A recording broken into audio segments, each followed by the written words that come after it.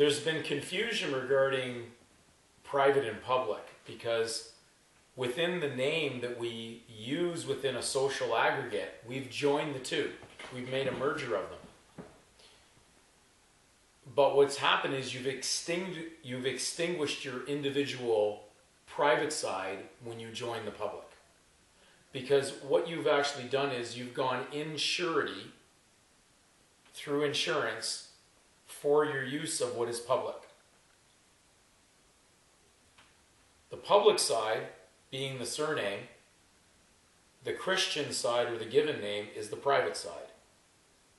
When you take your private individual Christian side, which is inalienable, and attach it to the public side, which is the tax or the common side or the common share of everybody's participation together as a whole, of which you were never to be part of according to Scripture because it said be separate. The problem that's happened at that moment is now you have now placed yourself in a guarantor position for what is your common usage of taxable public property.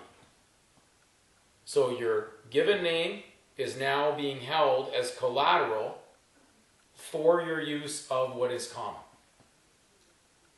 You've now disposed of your individuality to be part of an aggregate. So you're no longer at one, you're now being surety for something of someone else's.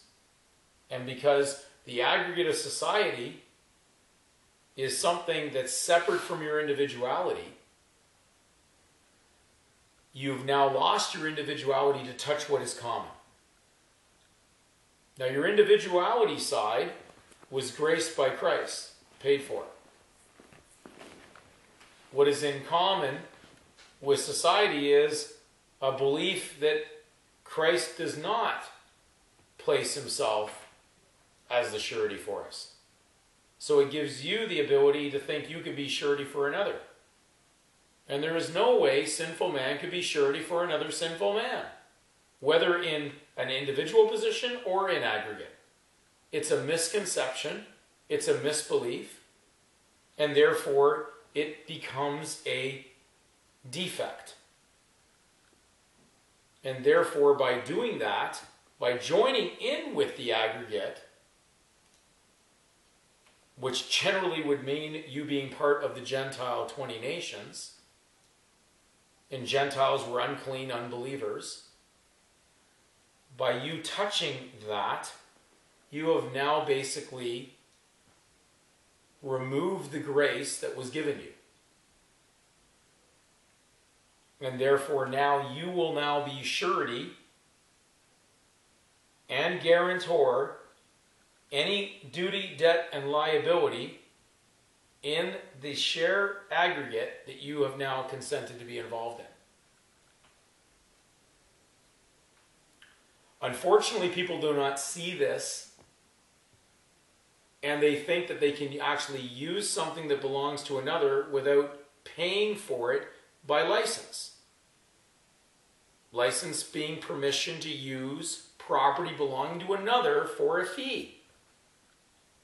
You do not use a license for your individuality, you're using a license to use property of another.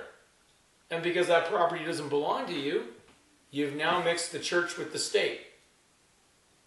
When you mix in church with state, the state is superior. The state overrides your individuality at that point because you've given up your God given inalienable position of grace for the idea of legal. The legal side being the surname. And because the law under man's world, because not everybody's going to accept the grace position of Christ, it allows that other position to be there because there is no other way to operate society. Not everybody is going to be a believer.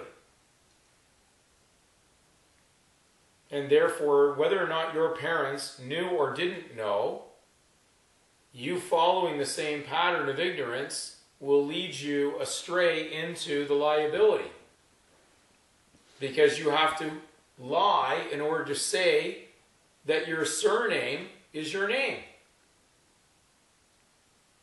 It is a legal fiction. A fiction is a lie. It's a, just a belief in something that has no founding.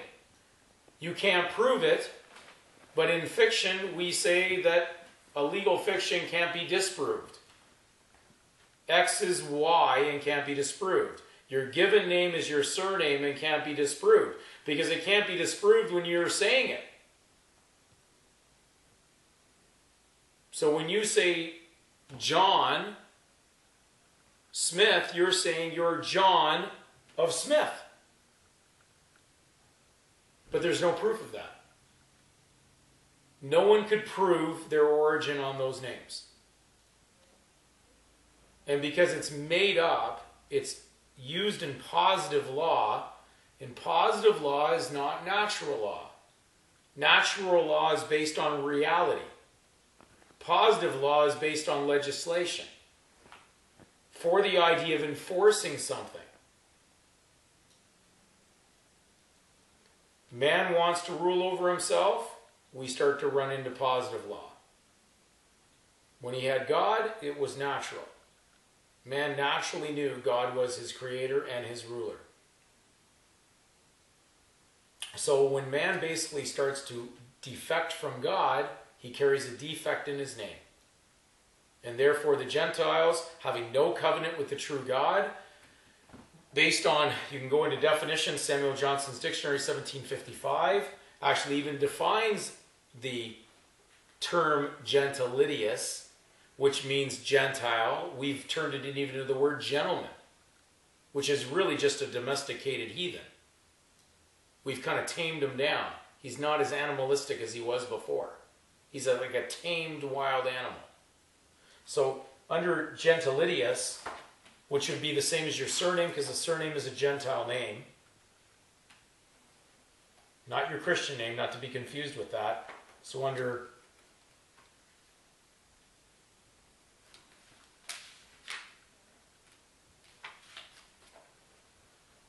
under Gentile, it says one of an uncovenanted nation, one who knows not the true God. Did the rules change to these definitions? Because someone told you that doesn't really exist now because someone told me otherwise? Unfortunately, we may have assumed and presumed because someone else is saying something is true, and now we've taken it as gospel truth. And because most of the people that are even involved in the gospel movement may proclaim that they can use a surname with impunity and still be a Christian, does not mean they're a Christian. And in fact, you will see these nations and peoples who have belief in this idea that they can actually kill their fellow man do things contrary to the scripture on peace that Christ proclaimed and still be a Christian does not mean they're a Christian. They prove by their fruits.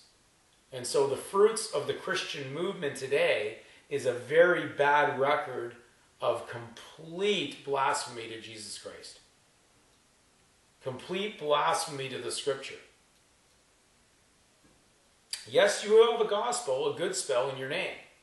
And then you also attach it to the bad spell, and you will have a bad spell. Because that bad spell will work contrary to the good spell. Because the last thing someone hears is the bad spell in your name. So they don't hear the good spell anymore. The gospel. In the gospel, the word, Christ was made word, it's in your name. He is the word on the street.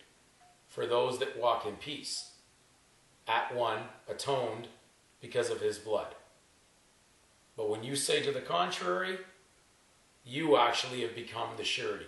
So no longer is Christ your surety, you've now gone in surety for the pagan side, which has nothing to do with Scripture. And there's truth and consequences in that action.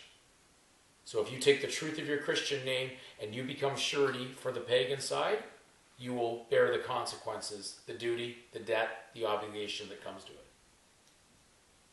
We hope that this part of the of our videos has clarified these points between the private, the public,